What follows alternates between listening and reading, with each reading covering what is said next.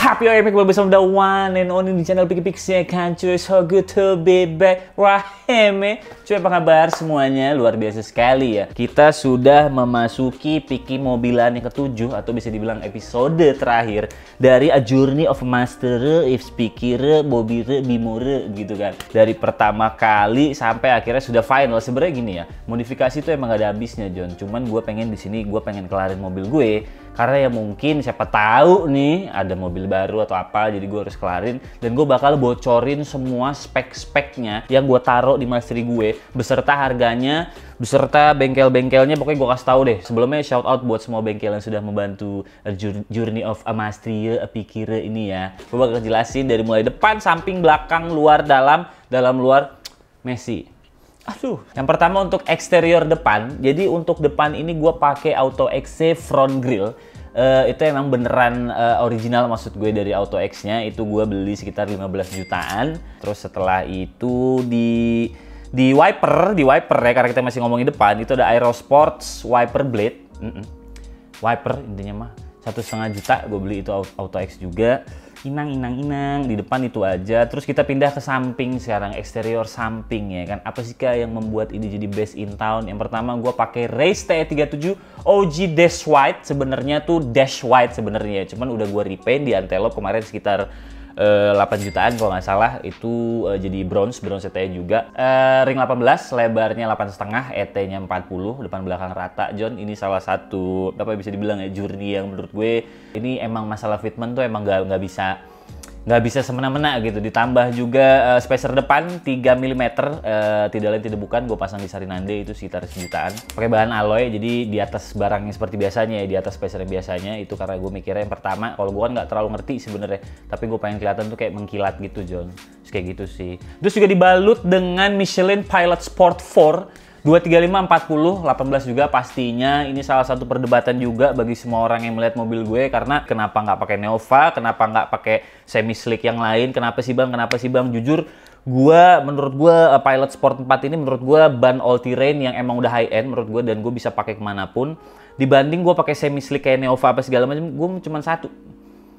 Takut kebalik emang emang mengganggu mata sedikit tidak sebagus pakai semi slick yang lain. Cuman buat gue pribadi karena gue juga ini mobil gue cuma satu jadi gue kadang-kadang nganter anak apa segala macam bini belanja entah ada gimana gimana jadi akhirnya gue memutuskan untuk pakai ban ini aja gitu. Terus gue juga beli race center cap uh, flatnya. Jadi uh, pas gue beli di permaisuri itu uh, velg gue, gue tuh nggak pakai center capnya, jadi gue beli lagi center capnya. Kalau nggak salah satunya 250 ribu apa berapa gitulah pokoknya.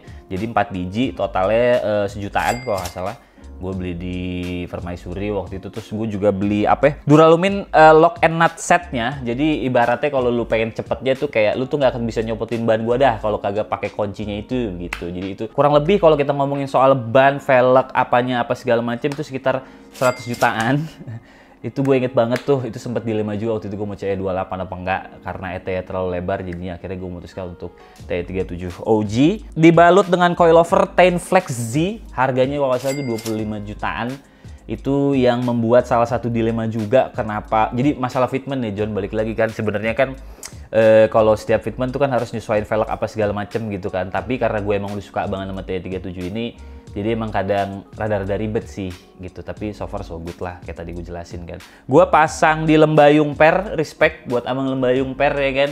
Dia memasang sebagaimananya caranya, jadi itu bener-bener tipis banget John, itu tipis banget tuh coilover sama sama velg tuh tipis banget akhirnya udah bisa diakalin dan ya udah udah layak jalan. Balik lagi semoga nggak ada apa-apa ya karena balik lagi fitment kan? Kita ke samping ada carbon cover spionnya base custom. Itu melindungi gue dari ini uh, menurut gue detail-detail yang nggak penting-penting amat tapi penting John.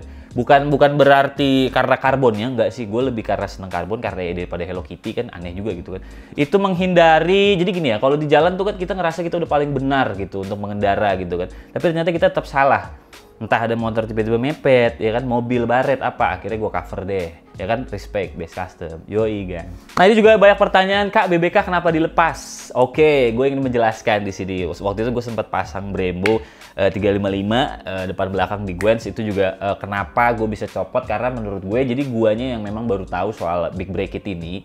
Dan ternyata menurut gue kurang pas kalau dipasang di uh, mastery gue. Karena gue baru tahu mana yang beneran BBK dan tidak ya. Gue tidak tidak bilang uh, yang yang yang murah itu uh, nggak nyaman atau gimana. So far gue pakai BBK juga emang kelihatan berasanya dan emang emang bener-bener lebih.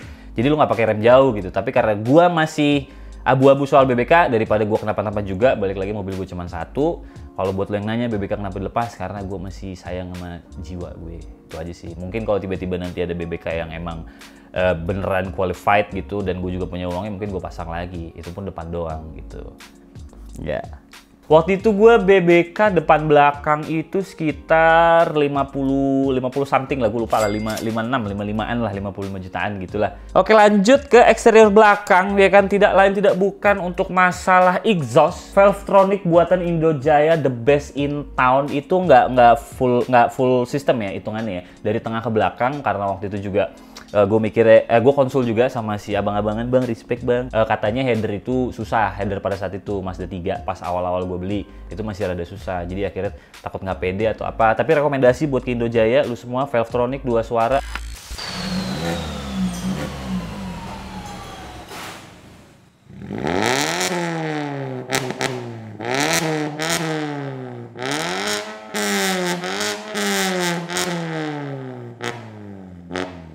Ya respect Indojaya. Itu gue pasang kurang lebih sekitar 10 sampai 13 jutaan kalau nggak salah pada saat itu ya awal-awal gue mobil. Depan belakang samping itu dibalut oleh forged carbon yang bisa dibilang dihandle oleh salah satu perkarbonan e, Indonesia yang menurut gue udah udah udah best in town lah.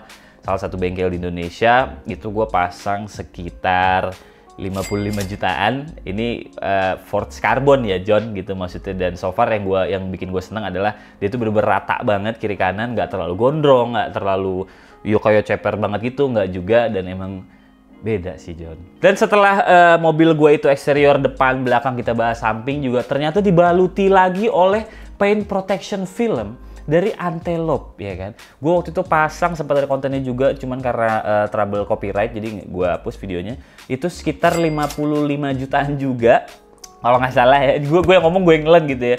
Jadi uh, bedanya sama coating waktu itu gue jelasin juga intinya kalau udah PPF sih lu nggak perlu coating lagi dan sekarang kalau ada hujan kayak syung gitulah intinya. Untuk mesin gue waktu itu sudah remap di Rev Engineering. Uh, gue nggak tahu sih gimana gimana soal mesin sebenarnya gue baru ya. Tapi tarikan atas bawahnya tuh emang berasa dan emang udah di unlock juga tuh si limit. Jadi bener-bener ngeplong aja tuh John. Jadi kayak wah gitu loh itu yang bikin gue best sih kalau nggak waktu itu gue tiga setengah jutaan terus uh, ke depan atasnya itu di masih di uh, sektor mesin ada auto extrude bar itu original auto X empat setengah juta Terus juga masih ada intake suction, air filter, oil level, oil filler, battery clamp, uh, fuel cap juga gue ada dan kemarin juga gue dikasih sama Mas Winley itu uh, engine carbon cover. Itu kalau lu beli empat setengah jutaan itu satu barang yang gue dikasih. Thank you Mas Winley, CX5 modifikasi, respect kerjain malam juga tetap datang dia John. Itu total-total sekitar depannya doang nih di sektor mesinnya doang nih nyet. Yang tadi itu remap tambahin sama 15 juta dah. Terus di bawah mesin gue, gue gue pakai member brace bar ini yang rada-rada nggak make sense sebenarnya. Sebenarnya penting nggak penting. Itu supaya uh, mobil lu lebih rigid yang pertama. Dan ibaratnya gini John, kayak lu nyetir lu belok tuh, mobil lu tuh stay jiwa lu yang geser ngerti gak lu? Itu gue beli sekitar uh, original Auto X 12 jutaan. Terus di belakang juga gue pakai Auto Floor Crossbar itu 3 jutaan itu buat ngestabilin samain ke depan sama kayak strut bar cuman versi ini di belakang. Rada rada PR kalau yang di belakang itu original juga. Nah itu sendiri dan John. Langsung ke interior berarti. Iya kan? Ke interior ya. Oke, yang pertama itu yang paling mencolok di mobil gue itu gue pakai Auto X pedal shift extender carbon. Itu harganya 3 jutaan eh, udah memasang kalau nggak salah. Terus juga gue pakai setir karbon custom dari Mas Windy juga CX5 itu sekitar harganya 6 jutaan. Itu emang uh, setirnya berasa sih emang enak banget sih. Jadi nggak nggak norak gitu loh. Maksudnya emang kayak padet gitulah bahasanya. Terus juga gue pakai Auto X White Rear View Mirror dalam kurung spion tengah dah itu harganya dua setengah juta original uh, Auto X juga. Spion ya iya. Bini gue ke kan kesekip ya yang ini ya kali nonton. Iya nggak tertarik dia. Terus juga gue untuk shift knobnya gue pakai kodo style titanium. Itu direkomendasi Mas Willy juga masih tiba-tiba ucuk-ucuk ada yang baru itu gue beli dua setengah juta rupiah shift knob ya John pala lu be taruh situ kan pedal gas itu gue juga sejuta berapa terus juga perintilan kayak sentuhan-sentuhan karbon terus seal plate di dalam ya nggak tau lah gue yang nggak tau lah kalau itu murah lah gitu ya Jadi ya udah itulah kalau masalah uh, interiornya gitu. Semoga nyampe ya John. Mungkin kalau gue nyampe ini rada belibet karena pertama emang gue nggak se-expert itu, tapi pada saat itu gue emang ada alhamdulillah ada uangnya dan emang ada link juga untuk beli. Ini PO-nya hitungannya berarti nge-build mobil kayak gini tuh udah 2-2 tahun lebih ya dari awal gue proses itu Mazda yang pas di tempat estetik garage-nya garasi drift. Terus tiba-tiba langsung jalan ke sana sini sana sini garansi mesin hilang. Balik lagi ya kita kalau modifikasi kan nggak nggak nggak iniin garansi begitu kan karena lah udah berani John begitu kan. Apple CarPlay pastinya di mobil udah pasti. Tadinya mau yang WiFi apa segala macem balik lagi HP gue yang salah. Karena Apple CarPlay di iPhone 13 itu belum bisa connect. Akhirnya gue mencari lagi handphone iPhone 12 kali 11 gue nggak tahu deh. Yang jelas karena gue emang sering denger lagu pakai Spotify rada ngeganggu sama buka maps gitu kan gue nggak tahu jalan gitu tapi gue bisa jalanin kok. Aduh. sudah itu aja ya berarti. Jadi ya udah pokoknya itu saat beberapa parts yang mungkin gue ada missnya dikit lu boleh komen di bawah. Atau lu punya punya referensi lain yang bisa lu terapin atau lu kayaknya uh, eh, gue suka nih kayak gini kenapa juga gue nggak stains apa segala macam balik lagi mobil gue juga cuma satu ya John. Nggak bisa yang sampai sekandas itu nggak usah nyaranin gue pakai Airsus juga karena otomatis kalau emang mobil gue bukan ini pasti juga gue mudah-mudahan sih gue juga pengen pasang gitu pengen tahu. Balik lagi mobil gue cuma satu. Oke jadi tetap support modifikator-modifikator Indonesia ya. Kita harus respect terlepas dari gua anak mobil apa enggak, gue cuman anak biasa yang emang seneng mobil, nggak terlalu expert-expert amat. Intinya kayak gitu sih, eh, nggak uh, pernah ada modifikasi yang jelek menurut gua karena once lu modif itu something motor mobil apa pun itu menurut gua udah salah satu kreasi, udah seni, tinggal perkaranya ada beberapa yang masuk di lo apa kagak gitu aja sih John. Jadi ya udah beberapa video footage bentar lagi bakal gue kasih lihat dan sudah gue nyatakan dengan ini Piki Mobilan sudah selesai. Thanks for journey untuk semua bengkel, Antelope, uh, Base Custom, uh, Gwens, uh, Indojaya, CX5 modifikasi, semua uh, respect, thank you banget ya. Sorry kalau gue BM balik lagi gitu. Gue cuman pengen mobil gue best paling judulnya kalau yang nggak ori ya nggak pasang gitu kan jadi ya kan ori semua gitu jadi udah bentar lagi gue akan kasih lihat footage terbaik. Ya sedikit lah ya. Ya udah segitu aja untuk video kali ini. Till next time peace. Out man